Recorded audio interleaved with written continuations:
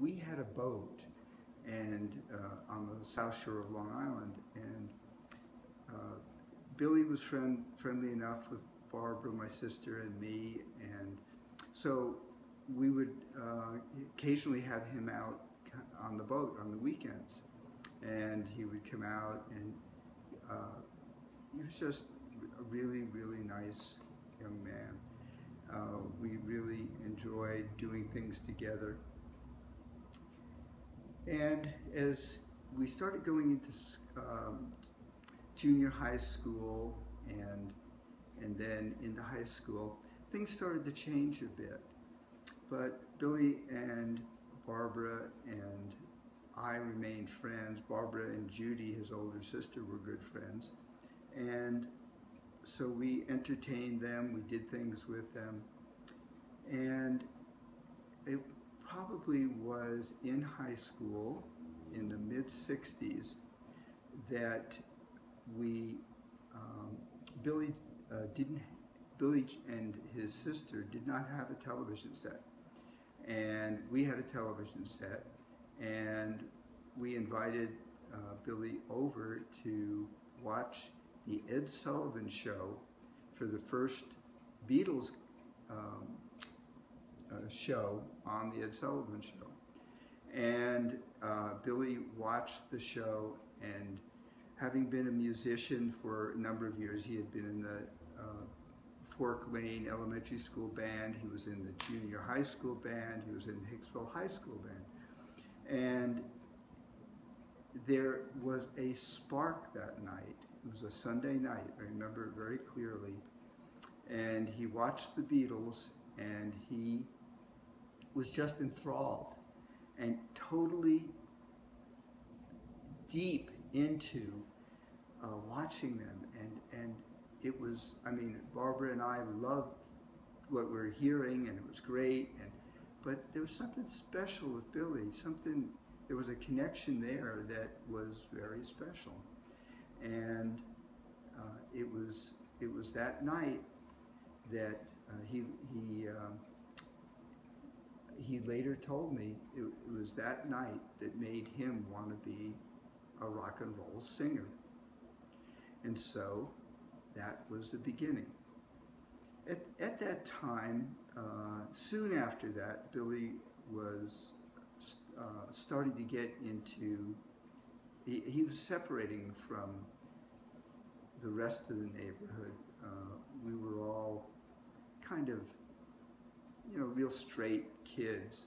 And Billy started to get into gangs, and they would actually have these scheduled rumbles, they called them, and they would, they would, ha they had gangs, and they would actually go and they'd have these fights, and it, it was so foreign. And he, at that point, he was starting to wear leather and other things he was still practicing his piano and taking piano lessons.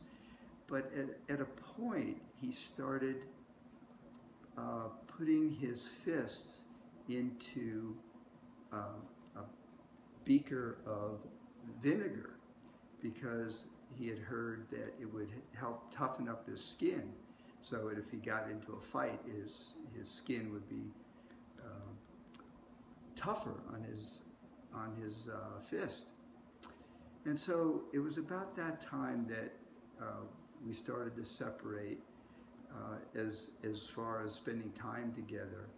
And it was probably very soon after that uh, Ed Sullivan show where he committed his life to being a rock and roll singer.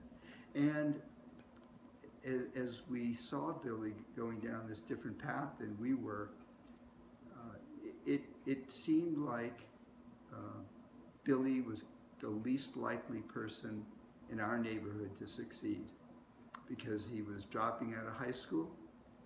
He, um, and he ultimately dropped out of high school.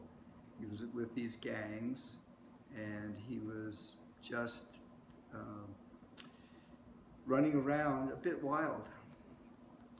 And so it, it didn't seem like he was on a good path. Um, there were periods of time where his mother had some, uh, and she was his only parent at that point, where she had some psychological difficulties, and, and that made it uh, his life situation even more difficult. At the same time, he was also starting to put together a band. And I think the very first band he put together was were called the Hassles. And I think that that was somewhat indicative of the gang culture that he was involved with, that he would call the band the Hassles. And they had some moderate success on Long Island as a local band, started playing clubs, and they, they did have success and, and started to get a following at that point. I uh, lost, uh, while I was in college in, uh, in, upstate New York, I had lost contact with Billy and he was on, on his own um, doing, doing things that were different, but he was primarily a local phenomenon. And I, I remember um, one time I was uh, driving to the North Shore of Long Island and I hadn't seen Billy in a few years and I was driving up in a town called Cold Spring Harbor and I was just driving up the road and I looked to my left and sitting out there on the porch was Billy Joel. And so I stopped and we talked and uh, we, we had a great talk. And this was right after the first um, album had been produced. And it was an album called Cold Spring Harbor. And the album had been um, produced and recorded, but somehow or another it had been recorded at a somewhat slower speed than it actually had been played at. And so the sound came out a bit different than the actual, if you will, Billy Joel and playing the piano and such. But Billy and I reconnected in our early 20s, and I would occasionally uh, go to see him in local clubs around Long Island and in New York, New York City. And I remember I would go to a, this bar in New York City and he would be playing and the place would have tables, not, you know, it wasn't a concert type venue. And it would just be tables and people drinking and a bar and, and uh, he had married by that time, and his, his wife was his manager. So he had was having this local uh, success in, on Long Island and into New York.